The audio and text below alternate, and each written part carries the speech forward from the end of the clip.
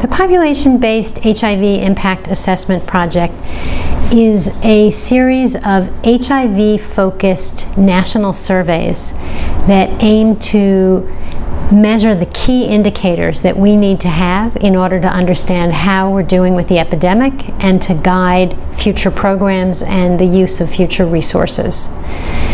We've had um, estimates of HIV prevalence through demographic and health surveys for approximately 10 years, but important indicators such as HIV incidence and more recently, the 90-90-90 indicators have only been available either through modeling for incidence or through facility-based data for the 90-90-90 estimates.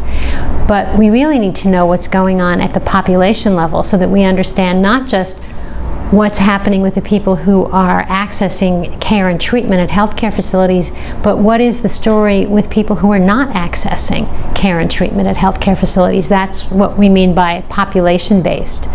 So we are doing surveys and going to people's homes. We ask them questions and do um, HIV testing in the home. We return results, we provide counseling, we do referrals to care.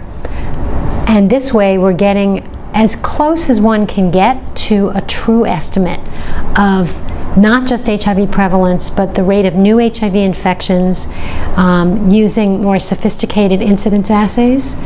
We do viral load measurements on everybody who's HIV positive, and then we ask them questions about care and treatment, and we are in the middle of also doing ARV detection assays, which will allow us to refine our estimates of who actually is aware of their diagnosis and who's on treatment.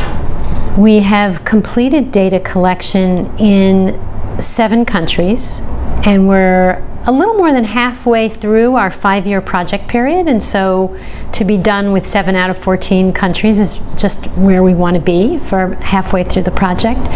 We have data collection going on right now in two more countries, and we are poised to begin in a couple of more, and then we're lining things up for additional countries in, in 2018.